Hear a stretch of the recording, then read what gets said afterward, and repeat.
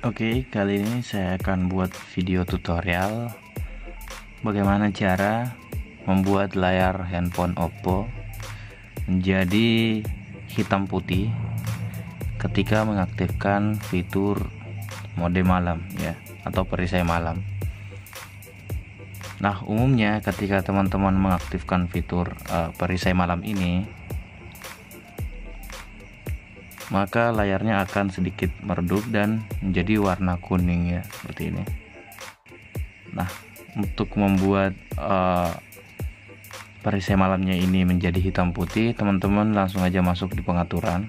Atau bisa juga teman-teman langsung menekan fitur perisai malam ini. Aktifkan terlebih dahulu seperti ini. Lalu teman-teman tekan lama fitur perisai malamnya maka secara otomatis teman-teman akan diarahkan masuk ke pengaturan. Nah setelah uh, perisai malamnya aktif maka di bagian bawah akan muncul tiga efek layar ya seperti ini. Nah yang ini tidak bakalan ada ketika teman-teman menonaktifkan perisai malamnya seperti ini. Saya akan matikan maka secara otomatis akan hilang untuk tiga efek layarnya Nah, di sini ketika teman-teman aktifkan, maka akan ada tiga pilihan efek layar yang bisa digunakan ketika perisai malamnya aktif. Nah, di sini yang saya gunakan sekarang adalah tampilkan berwarna. Untuk tampilkan berwarna ini hanya akan membuat layar menjadi sedikit agak kekuningan.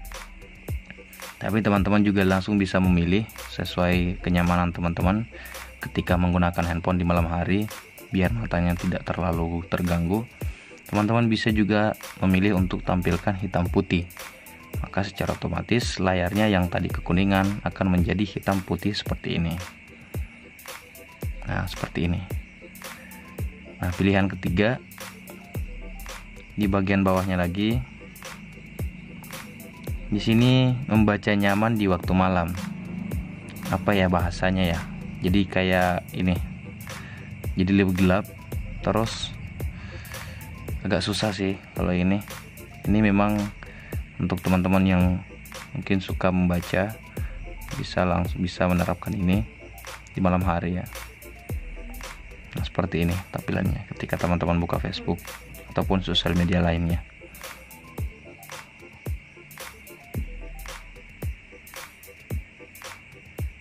Nah, untuk mengembalikan ke tampilan berwarna, teman-teman langsung aja pilih bagian atas seperti ini. Nah, ini yang saya gunakan sekarang adalah perangkat Oppo F9.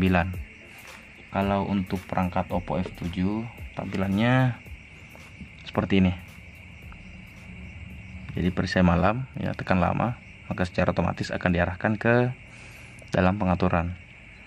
Jadi sama juga teman-teman aktifkan ini untuk Oppo F7. Nah, hitam putih, lalu kemudian membaca mal, membaca nyaman di waktu malam seperti ini. Cuman kalau ini agak ribet ketika kita gunakan di siang hari karena uh, gelap ya, nggak kelihatan. Jadi kalau untuk siang hari yang teman-teman bisa gunakan hanya ada dua yaitu tampilan berwarna dan tampilkan hitam putih.